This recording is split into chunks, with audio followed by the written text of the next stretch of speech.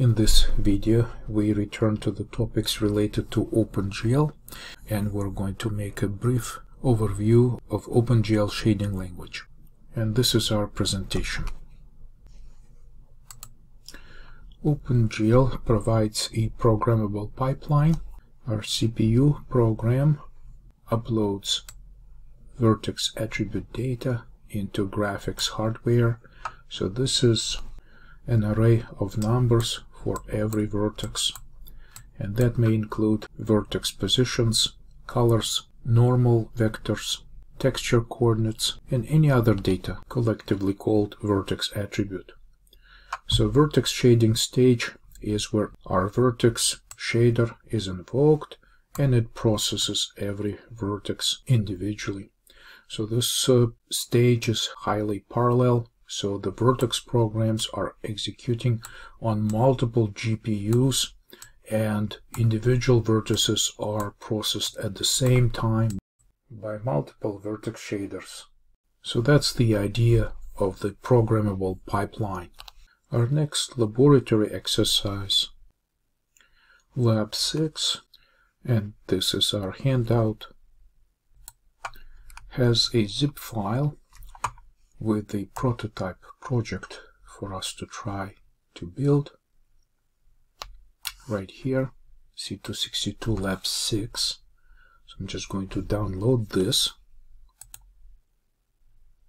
and save it in my labs subfolder. Alright so once it gets downloaded I'll just unzip the file extract,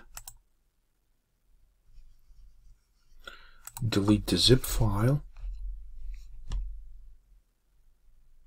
and under shaders subfolder we have examples of the vertex and the fragment shader which I would like to open to use them in our presentation. Okay, so those are examples of the vertex and fragments shader. So let's go back to our presentation and these are examples of input variables in every vertex shader that gets executed which gets access to the buffer data and gets these normal vector attributes loaded through this input variable and likewise the position of our vertices. So here, as we discussed before, uh, the main task is to transform the vertex position to the corresponding place in the normalized device coordinates by applying model transformation, uh, view transformation, and perspective transformation.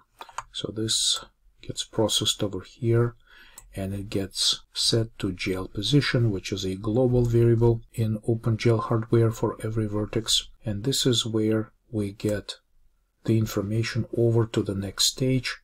So here we have the tessellation stage, which continues to process the information per every vertex. So this is also highly parallel.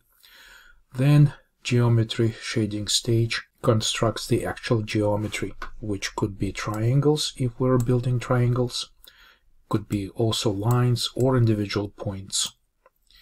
Then rasterization happens and all faces of triangles generated in geometry staging individual uncolored fragments. Okay, so if this is our triangle like this, uh, then it gets rasterized by generating individual fragments which become pixel candidates. So like this, it's broken down to individual little fragments which eventually will become visible. And then each individual fragment is given a chance to be processed by the fragment shader. So the fragment uh, shading program is responsible for declaring the output variable of type vector of four components and assign a color to this vector. Here we have an example of a hard-coded color, basically a gray shade. And this is how individual fragments get their colors, right? So each fragment will get the color and eventually they become pixels on the computer screen.